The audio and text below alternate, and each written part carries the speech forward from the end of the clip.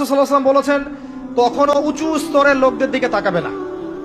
যার উঁচু বাড়ি আছে, তোমার চেয়ে উঁচু বাড়ি আছে, তোমার চেয়ে বড় গাড়ি আছে, তোমার চেয়ে বেশি টাকা আর্ন করে, ওদের দিকে দেখবে না। ওদের দিকে চোখ দিও না, বরং তোমার চেয়ে নিচে যারা আছে, দরিদ্র যারা, তোমার চেয়ে যারা দরিদ্র, ওদের দিকে তাকাও। তাহলে তুমি আল্লাহর নিয়ামতের শুক্রিয়া আদায় করতে পারবে ইনশাআল্লাহ।